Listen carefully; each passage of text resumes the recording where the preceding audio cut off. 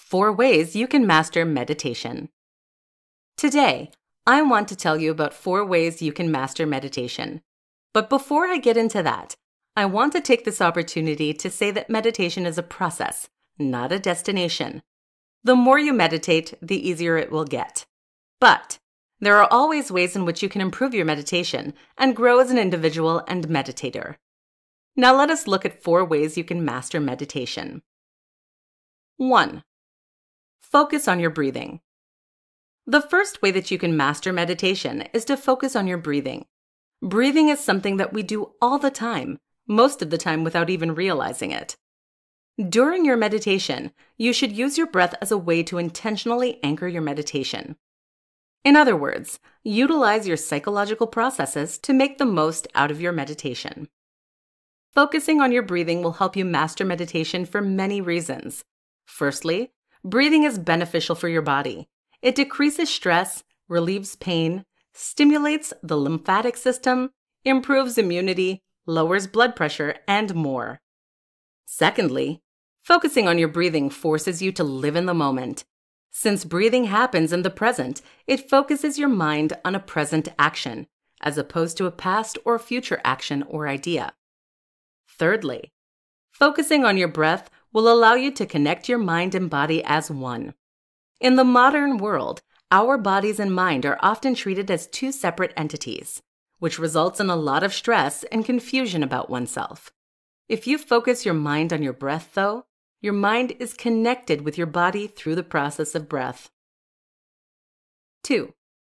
Switch up your meditation. The second way that you can master meditation is to switch up your meditation practice. Many people make the mistake of choosing one practice and sticking to it exclusively. This may be great if you're new to meditating and are still learning how to best meditate, but only doing one meditation does not allow you to grow or challenge yourself. As you become more advanced at meditation, you should try different meditation techniques in order to improve your meditative abilities.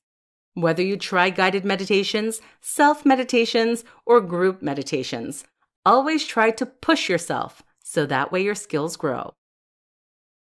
3. Be kind to yourself.